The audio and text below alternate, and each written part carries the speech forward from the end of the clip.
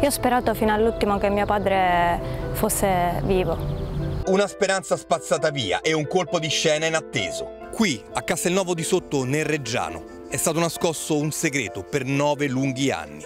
Alle spalle di questa casa colonica c'erano i resti di un uomo, verosimilmente Gaetano Impellizzeri, arrivato da Alcamo e scomparso a Bergamo, ma per qualche strana ragione, finito sotto la terra di questo giardino.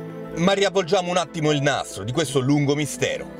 Gaetano Impellizzeri all'epoca della scomparsa aveva 47 anni, un passato da agente di commercio e un matrimonio alle spalle con due figlie a cui era molto legato. Da tempo l'uomo versava in grosse difficoltà economiche, dopo che aveva tentato senza successo la strada imprenditoriale, ma ultimamente stava cercando di rialzarsi dal fallimento, collaborando con alcuni imprenditori siciliani alla vendita di autovetture usate importate dalla Spagna.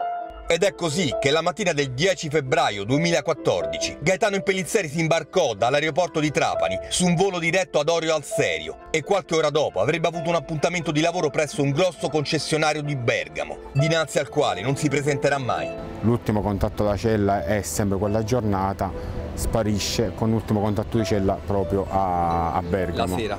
Sì, durante il pomeriggio. Poi da lì, come va a finire Reggio Emilia, per noi è un mistero. Per quale motivo Impellizzeri è stato ucciso e perché il suo corpo nascosto a circa tre ore e mezza di macchina da Bergamo? Tra le ipotesi più credibili è quello che o probabilmente ha visto qualcosa che non doveva vedere o che, tenendo conto che veniva considerato un soggetto comunque buono, mh, mm, probabilmente si sarà trovato in maniera inconsapevole in determinati giri criminali. Oggi in questa casa ci vive una famiglia che era ignara di tutto. Ma voi siete affittuari? Io sì, sì, sono affittuari. So che abita qua al 2015, no? Eh, sapere che dal 2009 c'era un cadavere qua dietro è... cioè... No, non è una cosa che fa piacere. Chi ha ucciso e occultato il corpo di Gaetano Impellizzeri sapeva bene che qui non sarebbe stato visto da nessuno.